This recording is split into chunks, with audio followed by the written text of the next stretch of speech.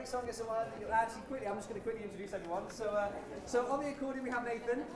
Yeah. On the cajon we have uh, David Haywood. He also responds to the name Hot Chocolate. uh, on acoustic bass we have Chris. Chris. And then on guitar we have Danny. And I'm Callum, so I'll be singing and playing a bit of ukulele. So the next song we heard is teased a little bit earlier. It's by a band with a wonderful name called the Bonzo Doodah Dog Band. And the song is called Urban Spaceman. Hope you like it.